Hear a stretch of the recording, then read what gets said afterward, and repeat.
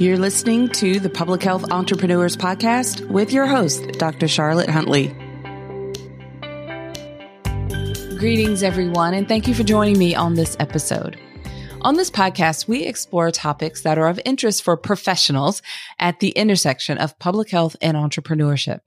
My name is Dr. Charlotte Huntley, and I'm really happy that you've decided to join me on this episode. I'm a public health entrepreneur and I have well over 25 years of experience in healthcare and in public health. And I've supported a lot of entrepreneurs along the way.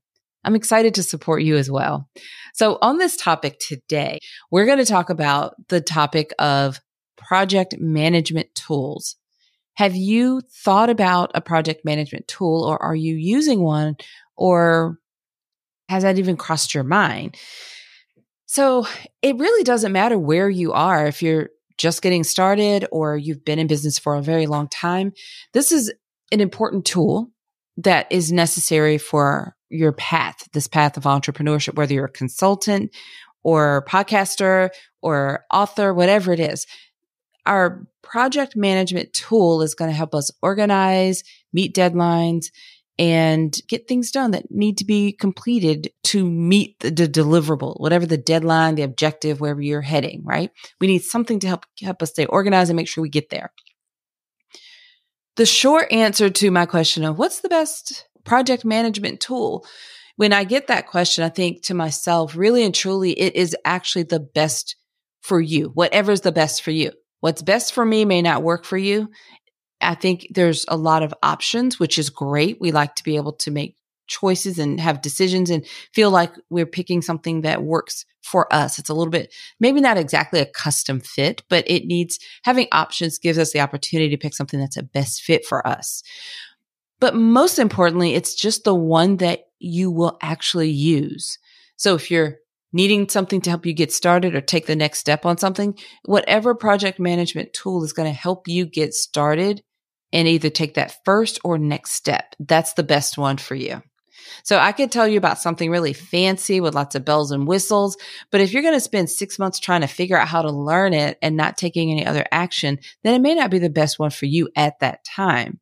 If there's something more simplified that you can integrate and run with it and take action, that may be the best tool for you at that time, at that moment. Okay. Are you following me so far? So the shiny, bright one with all the bells and whistles can be the one you aspire to, but I just don't want you to get stuck in the distraction of the shiny bright objects, which can happen because there's something fancy and people talk about things that I, I even may share things on here that make you think, oh wow, that I can't wait to get that. But it's it's it's not that you need to stop what you're using that's working for you and then go grab something else just because it's suggested or talked about. So I I preface that all the time because I'm going to give you some examples that in just a moment of great project management tools. And it's not an all inclusive list. It's just some personal examples that I like to share with you. But I just, before I even do that, I just want to make sure that you think and you embrace the fact that whatever is the best for you is the one that you're going to use, the one that's going to help you get to the first or next step. It also needs to be something that is easy to operate. So it doesn't mean that you have to shy away from things that are complex. You certainly, like I said, some things you will decide to use and you're just going to need to plan for that learning curve. Maybe you plan for a period of time that it's going to take to learn how to use it, get your team up to speed and so forth. I absolutely understand that and I agree with that. But for a lot of us, the ease of operation is going to be more important than the bells and whistles at the beginner stage or when you're at a point where whatever you've used for a long time, you've outgrown, it's time to move to something else. You need to really consider that ease of operation, not just for yourself, but for even your team. And maybe you, again, you may decide that the one that takes a longer time to learn is the best fit for you. And that's perfectly fine. But consider these factors. I also want you to remember that project management tools, the best one is going to help you keep uh, whatever it is, whatever the brain is, the best one for you should help you or help keep you or your project task. The best one for you should help keep your project tasks organized. I'll give you an example with podcasting. We have so many steps in the podcast process. Podcasting is very time consuming and it takes a different level of dedication. And it's easy to start. So many people can start a podcast. It is not easy to stay consistent. It is not easy to stick with it for the long haul. It's very time consuming. There are a lot of steps. And if, uh, when you're doing it all by yourself, it can be very overwhelming. If you have some support, this is the place. My first support team member that I hired years ago was to help with the podcast. So there are so many steps. We use a project management tool that helps us keep up with all of the steps. So for every episode that is produced, there are so many steps that go in, into creating that episode. And if it's a solo episode like this, where it's just you and me, that's like one set of steps. But if we invite a guest, that's a whole different set of steps. So we use a project management tool that allows us to have a template where all the steps that we need for these solo episodes, everything gets checked off and not and completed because there are several different people involved in the production of this episode. So I have an on-site assistant. So we have a team member that's full-time in the business that helps with all these different tasks with the podcast episode myself. And then we hand it off to a team, an editing team which includes an audio editor and then a different set of editors that will listen and write the script for it and and put everything together to make it sound wonderful and then we go through another set of steps to get it scheduled and out to Apple Podcasts and Spotify and all the places that you're listening. So there's a lot of steps. And they're similar when there's some there's solo episodes like this and then the episodes for guests are all similar. So we have a set of tasks and we have a project management tool that keeps track of that. So when I finish my part, I check a few things off and then that triggers an alert to another team member to finish putting different pieces together. And then they send it over to the editing team and that triggers a different set of alerts that will let us know when the editing team finishes with that and gets it back to us. And it even brings in our social media team because then they know when everything is complete, then they can create posts and get everything out to social media.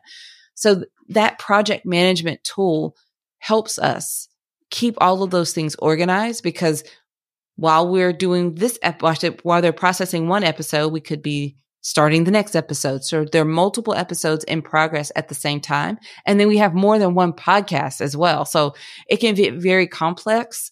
So a good project management tool, the one that we're using is helping us keep all of those different parts very organized. Not to mention we have our consulting business and our client work and our pro- different projects that have all these different deadlines and due dates and things that need to be done, it can be very overwhelming to try to keep that in your head. But a good project management tool helps us stay organized. That's huge. So whatever project management tool you decide to use, make sure that it helps you stay organized. And then the other part of that is it keeps you on time. So the best project management tool will keep you and your project on time, meeting the deliverables and the, the deadlines for the deliverables is important, right? Your client, you want your clients to be happy that you completed it when you said you were going to complete it in that proposal. So a good project management tool will have those features that help you meet the deadlines and keep your project on time. So what I say to my team when I think about our project management tool is that it's our project management tool makes sure that things get done. That's its purpose in, in, our business. It's to make sure that things get done. So when it gets to the project management tool, like it, it sits in other places, but when we get it to the project management tool, that's when it's like making sure things get done. For example, with the podcast, there's a separate document we'll use to organize our thoughts and ideas for episodes and I'll outline things in different places. But when it's actually time to produce and create it, it goes to the project management tool. Okay. It took us a while to kind of get to that organizational point. So here are some examples for you. Excel. Let's not, or a spreadsheet. So it, whether it's Google Sheets or Excel, actual Excel, let's not underestimate the power there because at the very beginning, if you're if you're at the beginning that is the best thing. You can organize everything you need to do very well in that excel sheet. And if you only have maybe if you're coaching if you got just a few clients you may, may only need something like a spreadsheet. I kept mine very organized on a spreadsheet at the beginning. When you're just getting started with a lot of things you can organize so much in a spreadsheet. We use spreadsheets like nobody's business around here because they keep everything organized. All the details are together. And that's what I meant earlier. We get it organized, get our thoughts out. And then when it's time to put it into action, it moves to the another tool. At the very beginning, though, everything happened from the spreadsheet, beginning to end.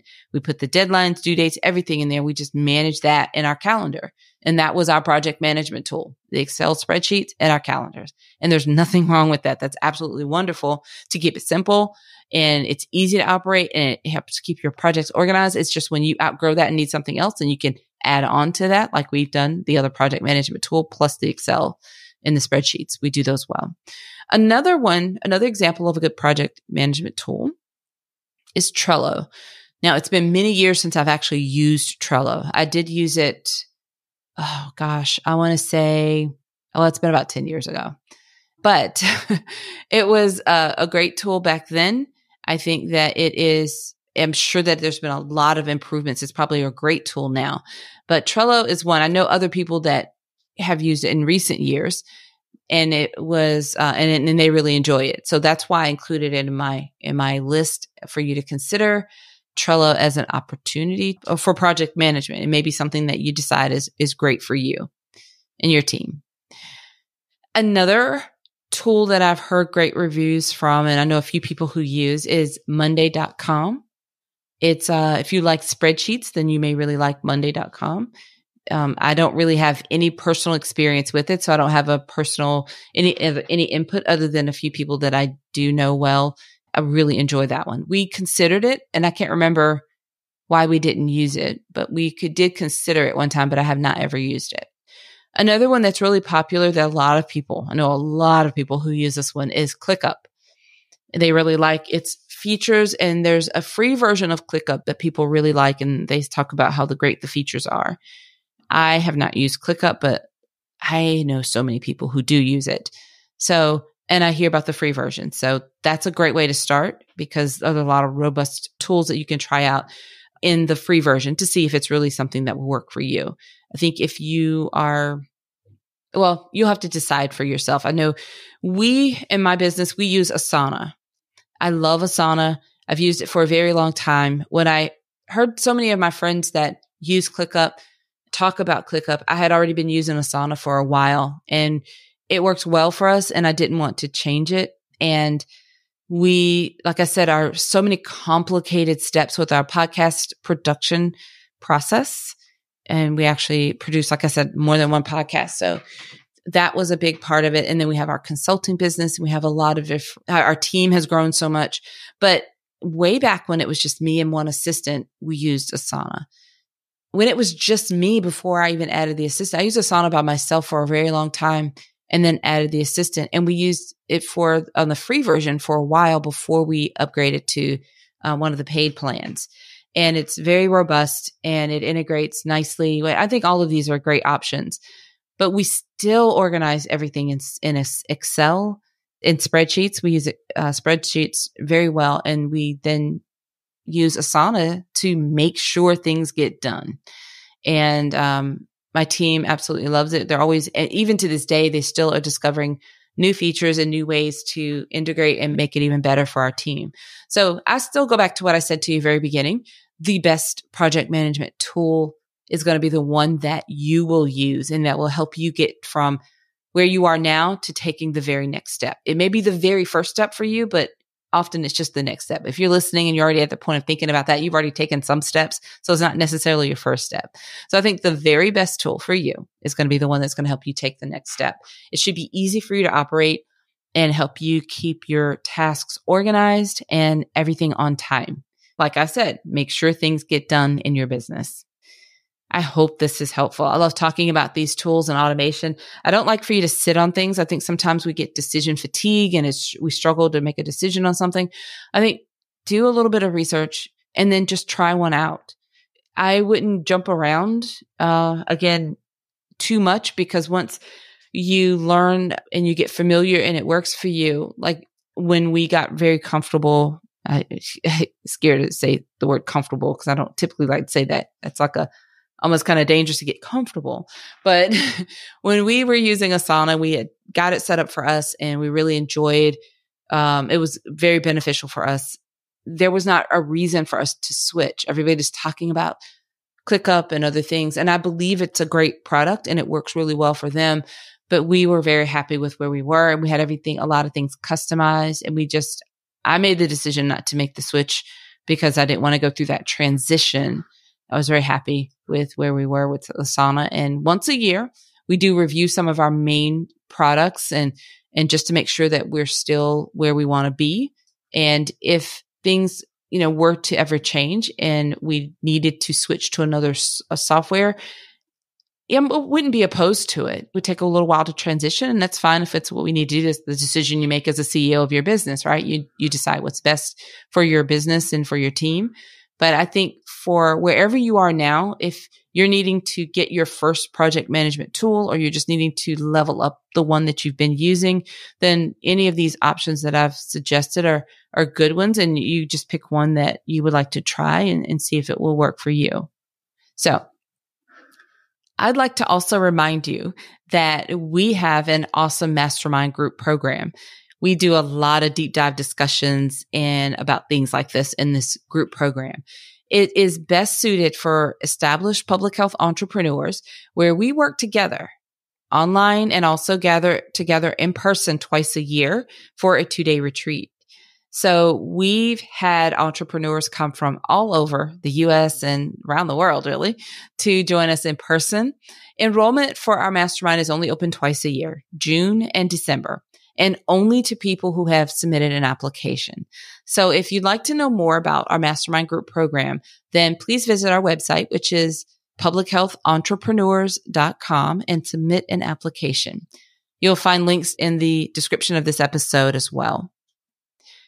As we wrap up this episode, I'd like to ask you to help us spread the word about this podcast. There are a few ways that you can do so by either sharing it directly from the podcast app that you're listening in right now or share our website with a friend, publichealthentrepreneurs.com. Either way you decide to do so, we just appreciate you helping us spread the word about this podcast. All right, everyone. Until next time, have a fantastic rest of your day. Thank you for listening. Visit publichealthentrepreneurs.com to learn more.